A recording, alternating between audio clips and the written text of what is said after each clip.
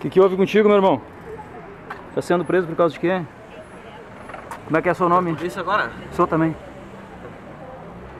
O que, que houve, meu irmão?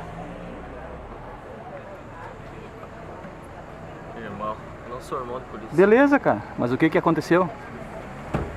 Tu é daqui mesmo?